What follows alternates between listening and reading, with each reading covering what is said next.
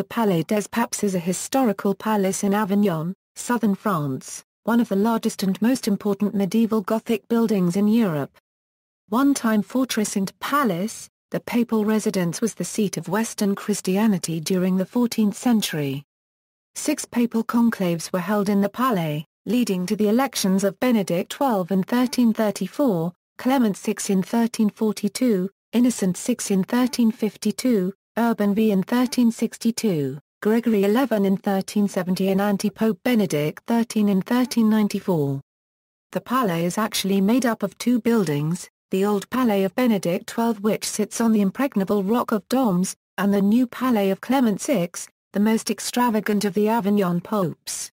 Not only is the final combination the largest Gothic building of the Middle Ages, it is also one of the best examples of the international Gothic architectural style. The construction design was the work of two of France's Euro unregistered trademark best architects, Pierre Peysson and Jean du Louvres and the lavish ornamentation was the work of two of the best students of the School of Siena, Simone Martini and Matteo Giovanetti.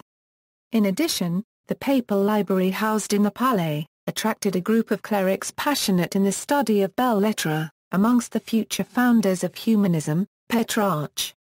At the same time, composers, singers and musicians were drawn to the great chapel of the Palais.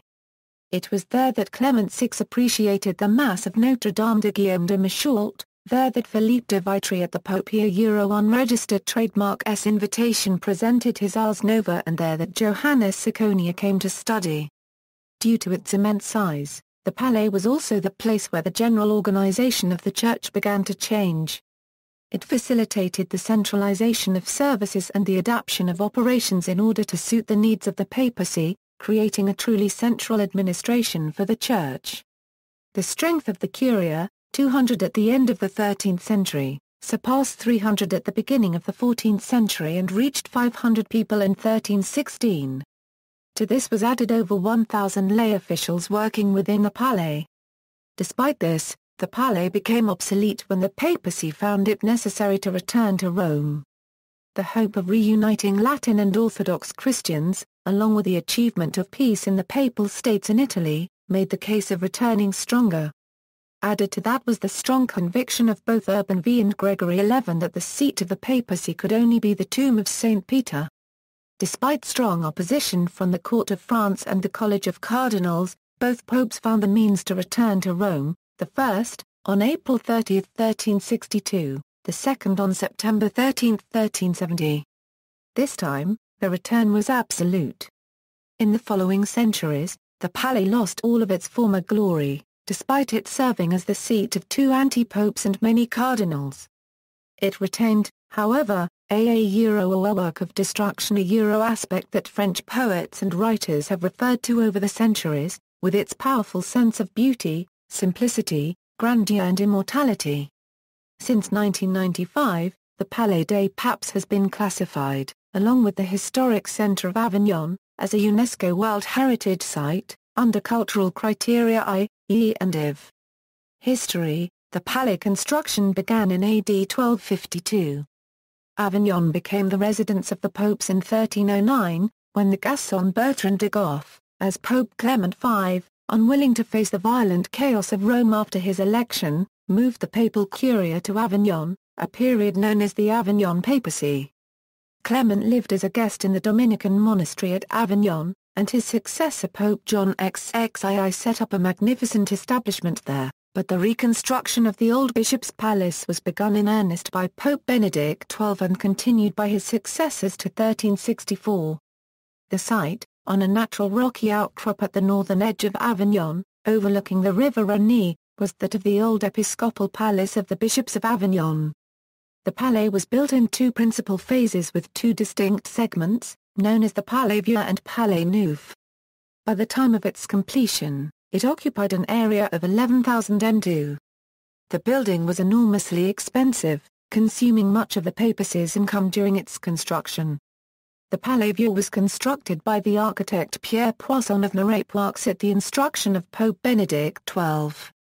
The austere Benedict had the original episcopal palace razed and replaced with a much larger building centered on a cloister, heavily fortified against attackers. Its four wings are flanked with high towers.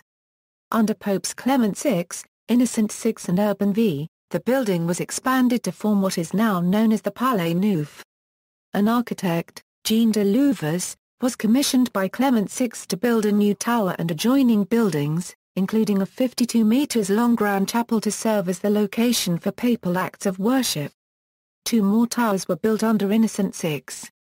Urban V completed the main courtyard with further buildings enclosing it. The interior of the building was sumptuously decorated with frescoes, tapestries, paintings, sculptures and wooden ceilings.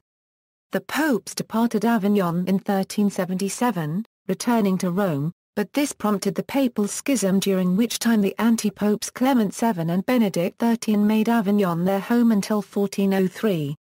The latter was imprisoned in the Palais for five years after being besieged in 1398 when the army of Geoffrey Boucicaut occupied Avignon.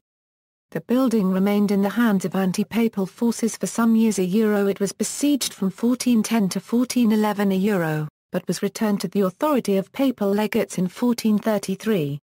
Although the Palais remained under papal control for over 350 years afterwards, it gradually deteriorated despite a restoration in 1516. When the French Revolution broke out in 1789 it was already in a bad state when it was seized and sacked by revolutionary forces. In 1791 it became the scene of a massacre of counter-revolutionaries, whose bodies were thrown into the Tour des Latrines in the Palais Vieux. The palais was subsequently taken over by the Napoleonic French state for use as a military barracks and prison. Although it was further damaged by the military occupation, especially under the anti-clerical Third Republic, when the remaining interior woodwork was cleared away for use of the structure as a stables a euro the frescoes were covered over and largely destroyed a euro ironically this ensured the shell of the building's physical survival. It was only vacated in 1906, when it became a national museum. It has been under virtually constant restoration ever since. The Palais today, the Palais is today a palace of culture and primarily a tourist attraction, attracting around 650,000 visitors per annum, putting it regularly in the top 10 most visited attractions in France. It also houses a large convention center and the archives of the D'Art Copyright Department of Vaucluse, which include a research center on the papacy of Avignon, organized jointly by the Épermille Colfrana Sectiones de Rome and the Institut de Recherche et d'Histoire des Textes. With its size, architecture and historical significance, the Palais regularly serves as an exhibition center. The first major exhibition was and initiated by Rena Copyright Shah and in the Grand Chapel between June 27 and 30, 1947. Entitled Exposition de Peintres et Sculptures Contemporaines, it was the starting point for what would later become the Festival d'Avignon. The courtyard of the Palais des Papes is a central performance location during the Festival d'Avignon in, which held every year in July. It is also the site of many cultural and economic events. The Palais is also home to the International Congress Center which was established in 1976 and today hosts a large number of events annually. These include congresses, parliaments, symposia, reunions and other gatherings, with the largest room, the Grand Audience, able to hold up to 700 guests. Architecture With 15,000 m2 of floor space, the Palais is the largest Gothic palace in all of Europe and, due to its many architectural merits, one of the most important in the world.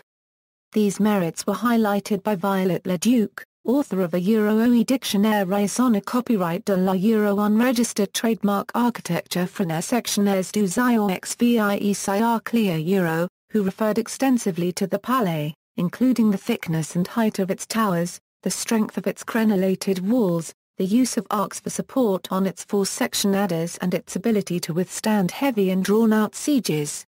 Equals the towers equals. Equals CRA copyright meant 6 Studium, also called La Chambre du Cerf equals.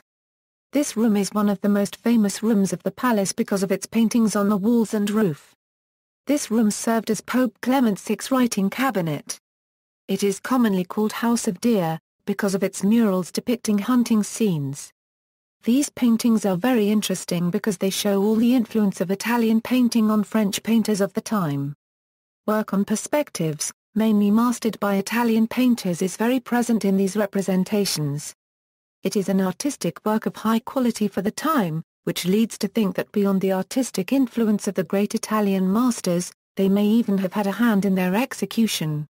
Equals the Great Time equals, this room was used primarily as a reception room.